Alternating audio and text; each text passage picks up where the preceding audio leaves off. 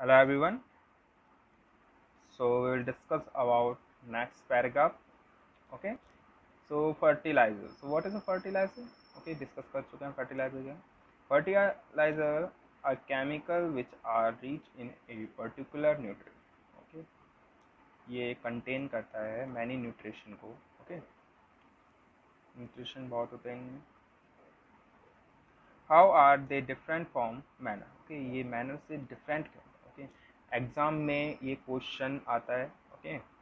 Ninety five percent ये question पूछा जाता है तो इसको मोस्ट कर लीजिए, ओके? तो what is a fertilizer and manure okay? इनमें डिफरेंट पूछा जाता है, कौन सा बेटर होता है एग्रीकल्चर के लिए। So fertilizer are produce in factories okay? So fertilizer factories में प्रोड्यूस होता है, ओके? सो केमिकल से ये बना होता है, ओके? और मैनर एक नेचुरल प्रोडक्ट होता है। सो so, आप सभी जानते हैं नेचुरल चीज़ ज़्यादा बेटर होती है। तो आप इस तरीके से इसको बना सकते हैं। कुछ आंसर को। Some example of fertilizer are urea ammonium sulphate super phosphate potash N P K nitrogen phosphorus potassium okay ये एन पी के इंटरलाइन कर लीजिए ओके एन पी के की आ, पूछ लिया जाता है full form nitrogen phosphorus potassium The use of fertilizer has helped farmers to get better yield to crops such as wheat, paddy and maize. Okay, so ये help करता है okay farmers को. But excessive use of fertilizer has made the soil less fertile. Fertilizer has also become a surface of water of pollution. Therefore, in order to maintain the fertilized soil, we have to substitute Fertilizers the organism measure or leave to feed uncultivated follow in between two crop. Okay, easy सा topic easy सा paragraph है ये the use of manure improves soil texture as well as water draining okay use of manure improve soil texture okay improve करता है soil के texture जैसे कि water draining capacity soil with nutrition. Another method of replacing the soil with nutrition is through crop rotation. This can be done by growing different crops alternately.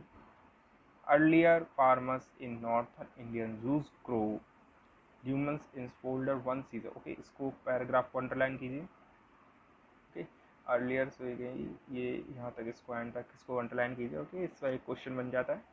This help in replacement in soil which nitrogen farmer can be encourage to adapt this practice okay encourage करती है top to practice this is previous classes you have learn about rhizobium bacteria.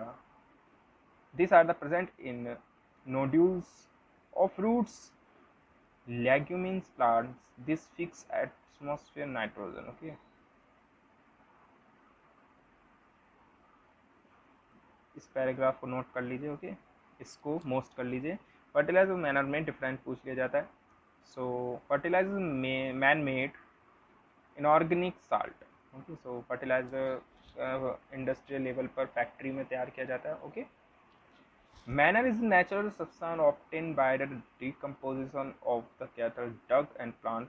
Okay, मैंने बताया था आपको कि animals and plant के decomposition से इसको तैयार किया जाता है। फर्टिलाइज़र से prepare in factories okay major can be prepare in field fertilizer does not provide any human of soil and major provide a lot of human to soil Fertilizers vary rich in plant nutrition like nitrogen, phosphorus, and potassium. Measure in relatively less than rich plant nutrition. Okay.